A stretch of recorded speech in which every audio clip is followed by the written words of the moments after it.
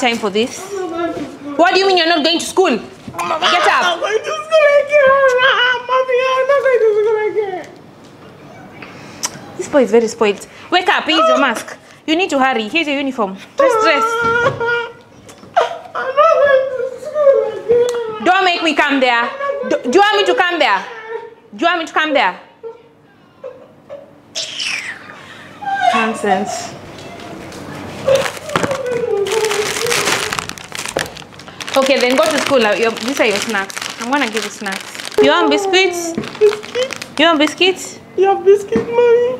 Yes, biscuits. Get ready and then I'll give you biscuits. Wake up, get ready. Give you biscuits, okay? I want to go to school. Okay, Maya. My teacher will kill me. Why? I don't want to go to school. Why? Where will your teacher kill you? You've done the homework? Yes, mommy. Then what is it? Yeah, I'm a bad boy in class. Don't worry, don't worry. I want to go to school. You don't want to go to school? No, Why don't you want to go to school? I don't like school. Why don't you like school? You're so young. You're only in primary. What will happen when you get to high school? My teacher will kill me. Why? Okay, wear your shoes. I don't want to go to school. Uh-uh. Ha! Wait. I don't want to go to school. I don't want to go to school. Oh my gosh, this child. Wake up. Go to school. You want snacks, yeah? I'm to give you snacks if you go to school. Where is your snacks? Where's your snacks? Mommy, did you add juice? Yes, there's juice. There's juice. You want juice? There's I juice. juice. Okay, wear your shoes. I don't want to. I want to go Children of these days, I swear. Children these days, you're very spoiled. Okay, we go. Is my Where's bag. your bag? You haven't even combed your hair. Where's your comb? Ah.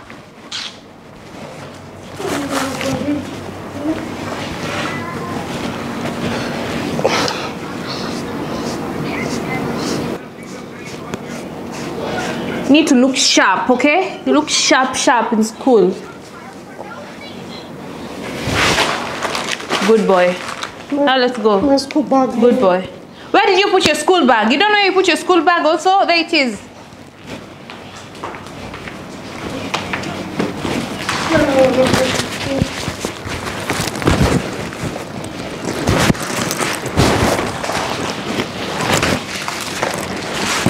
Good boy. I don't want to go to school. Uh-uh. I don't want to go to school. Uh-uh. I don't- We go, we go, we go. You're good,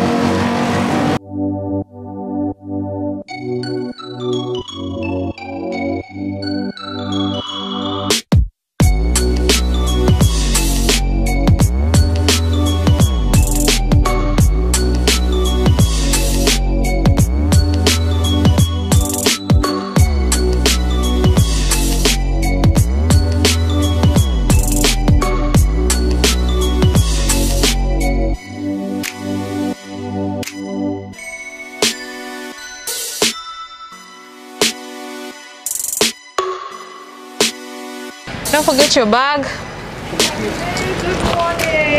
Good morning, madam. Fine. Oh, good to see you. You're welcome to Greenwood House School. Thank you. You are really welcome. But before you go in, you have to check your temperature and um, wash your hands at the wash and basin. Okay? All right.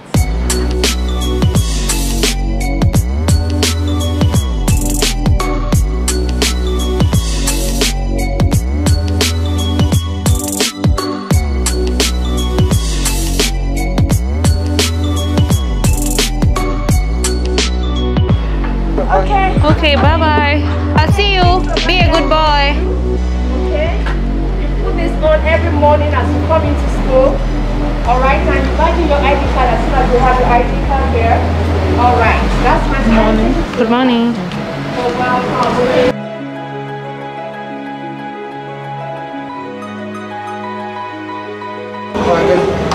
Good morning. Hello, Miss Ogulano. Good morning.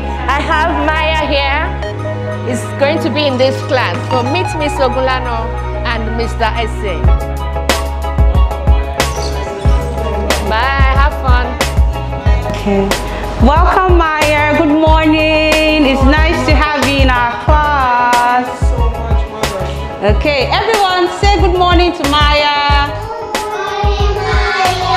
He's going to be our new friend in primary one mini. Let's have him sit over here with Ugochukwu. Hi, how are you too? Hi. I am six years old.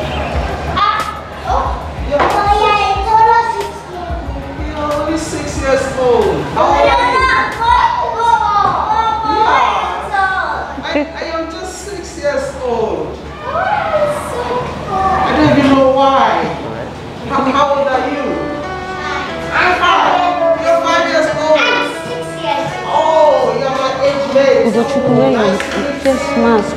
Ugochukwu. Sit up, sit up. Ugochukwu.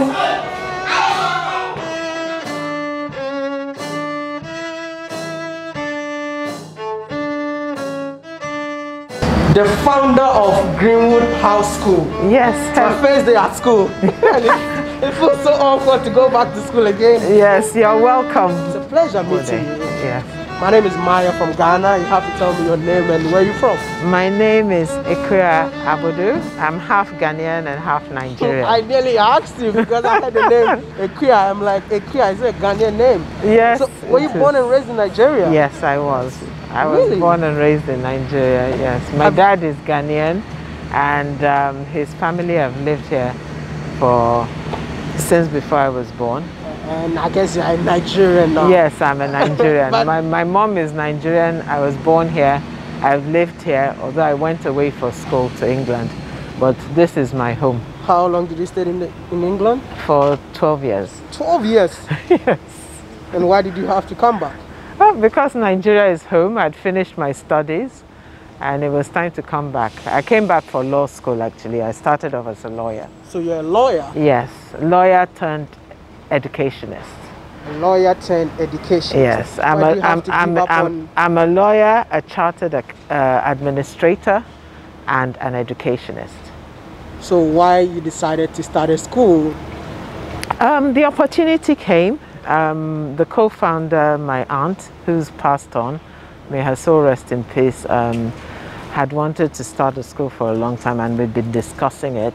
So I was helping her to put papers together as a lawyer, get a feasibility study going, and um, by the time I'd put everything together, she was like, "This is amazing. Why don't we do this together?"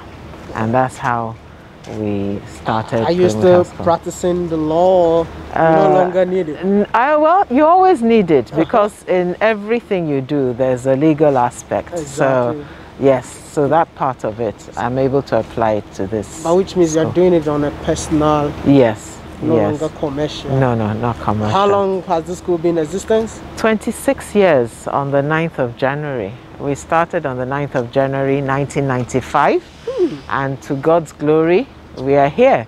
We weren't always at this site. This is our permanent site. We started um, in rented premises off Awolowo Road, and we were there for five years. We moved there in 2000, and um, we've actually been on this site for 21 years. You said when you started the school, the first place was rented. Now you moved to this place. Was this one also rented? No, it wasn't. Um, first, in that other place, we rented a, a small building. We outgrew it, rented the building across, and we were there for four or five years. Meanwhile, we had located this land, which was actually all water at the time we saw it, but we had the vision and we had the foresight to key in then. And um, the land was sand filled. But you can't believe that even though then it was water, you would have thought we took us four years to pay for the land. And then to build the school, we had to get a loan um, from the bank, which we repaid after a few years. So it's been a journey, but a, fulfill, a, a good journey. Uh, Slow and steady journey. Slow and steady journey. But let me know, like, after all these things, there should be something that keeps you moving. Oh, definitely.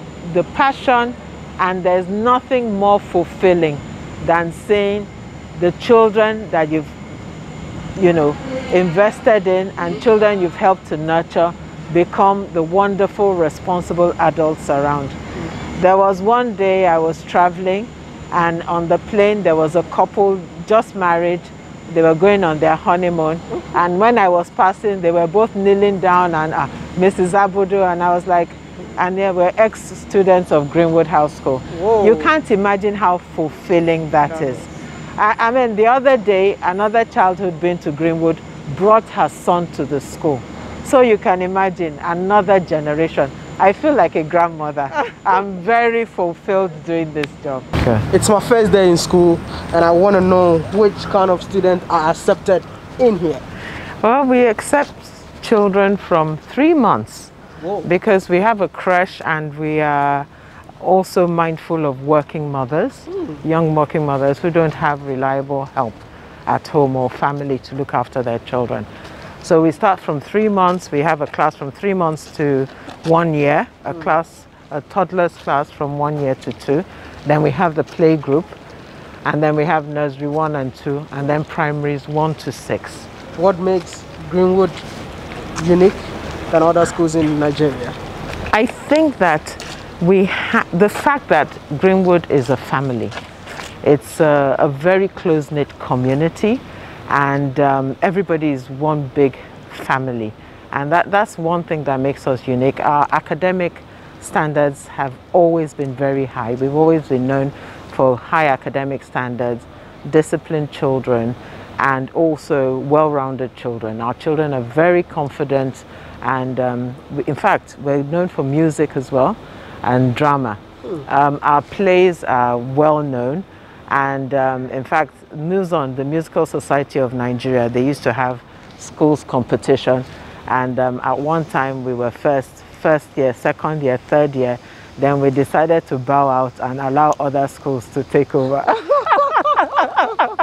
Would you love to take me around? Yes, I would love to take you around Greenwood. It will be my pleasure. Come on, let's go.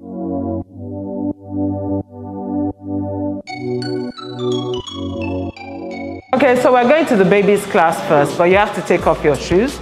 There's no one here at the moment, but this is uh, uh, our, our babies class with the cots and the changing units, the feeding units and, and sleeping.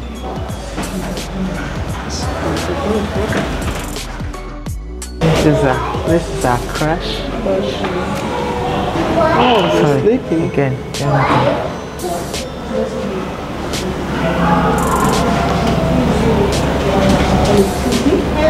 Hello.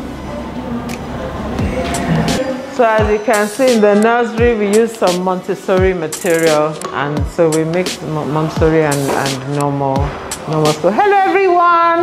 Good afternoon. um, this is our music room. Are you going to play something while we're here? Quickly, just anything.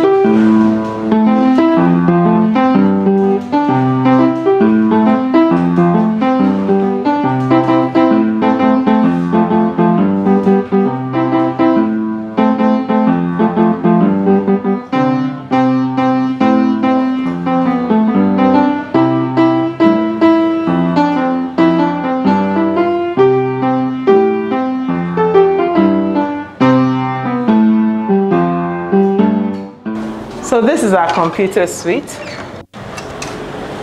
So of course, because of um, COVID, everyone has their own, is protected. We have to put the perspex here. This is, um, a new, yes, this is a new innovation because of um, COVID. This is our science room, uh, one of the function rooms. So the function rooms are the same size. You know, the, the school is purpose built. All our classrooms are the same size.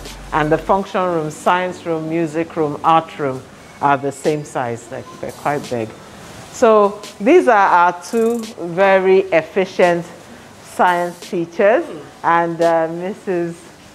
Anekan Udo is going to show us a quick experiment. Or is it the children? You're doing something? They're the ones doing it. So what are you doing today? Sticks of matter. Yeah, and What does that involve? Solid the liquid and gas using baking soda, bicarbonate of baking soda as a solid, white vinegar as a liquid. Yes. They'll produce the gas. Okay, let's see what you're going to do quickly. thing you need to do, pour in some, okay, pour in some baking soda into the gloves. Pour in your white vinegar into the baking soda, at least 200 mils. Put a little color from the dropper into the uh, white vinegar. You're opening the glove and you're wearing it on the beaker. I did not do All- It's a balloon. Wow. You're slipped off. Sorry. but at least you saw the reaction. Thank you so much for taking me around your school. But if someone is living in Lagos and they want to find your school, where do we find you? Oh, you can check our website www.greenwoodhouseschool.com. Wow. And uh, you know, this one is questions about Africa. I know you lived in the diaspora for 15 years. So 15 or 12 years? 12 years. 12 years. And then you left, came back to Nigeria and established this beautiful school. You even started by renting Uh, yes. a room. And now, like, this is a huge school. So we've got a lot of Africans living in the diaspora right now. Do you think that it's worth it for Africans living in the diaspora to return back to the motherland? Most definitely, because I think Nigerians are one of the most educated and the most talented people all over the world. And it's a pity that we have so much drainage of that talent. So please come back to Nigeria and let's make Nigeria great again. Whoa, you know, you hear. I Yes. mean, definitely you face few challenges when you're establishing the school. Yes. You have young entrepreneurs that want to be like you. Mm. What was the major challenge that you faced? Um, I think no support from our government because when you want to set up a business in Nigeria, you have to set up your own electric um, file. You need a generator, you need a borehole, you need so. I think um, definitely the infrastructure is is not that good. Um, but you know, at least we're able to provide things for ourselves. I have our, our we have our own mini government here. We provide our own electricity, we do our own water, provide our own security, clear our own drainages.